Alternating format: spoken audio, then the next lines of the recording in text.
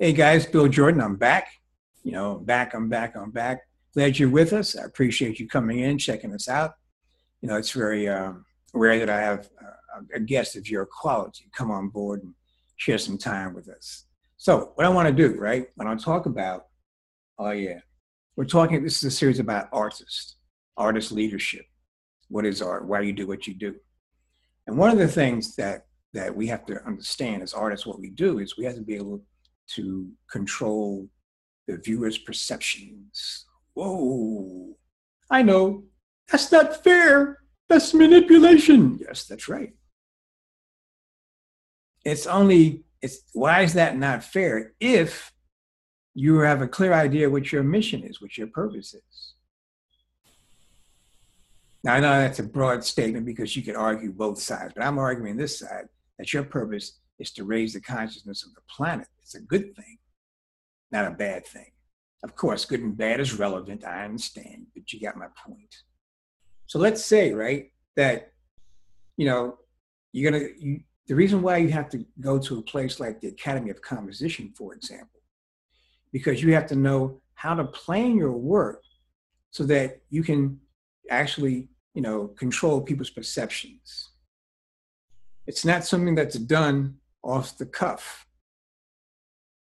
Very few people can do that, maybe one in a million. Okay? So now that's why I'm saying to you, as a leader, as an artistic leader, you know, you have to get better trained. And I don't mean in color stuff, you know, I don't mean, you know, drawing. I mean just in planning what you're going to do. Because what good is the planning? I mean, the drawing, if you don't have a plan. Where they say, uh, you, you, plan, you plan to, uh, you work, you know, if you plan to fail, if you don't plan, you fail, something like that. If you don't plan, you're going to fail. That's what it says. If you do plan, you win because you had a plan, right? So that the planning is tied into, you know, the controlling of people's perceptions. And the ultimate, the ultimate thing you want to control is their, their consciousness. You want to raise their consciousness. That's why you do what you do. Now you're going to say, I don't like that. I want to make things that are pretty, pretty, pretty, pretty. You can make things that are pretty, pretty, pretty. It doesn't really matter. As long as you have planned out how to control their perceptions. Okay, my name is Bill like Clinton, you're like Michael. Right, you can reach me at 201 790 3368. Now you can go to the Academy of Composition.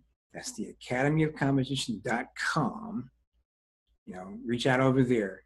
And those guys over there will, will help you start planning your work so you can you can be a better leader. See, one of the five elements of leadership, of artistic leadership, is what? Knowledge. You have to have more knowledge, right? Now, you could argue, you're saying, well, that, that equates to skill. That does to a degree, but you have to have this special knowledge.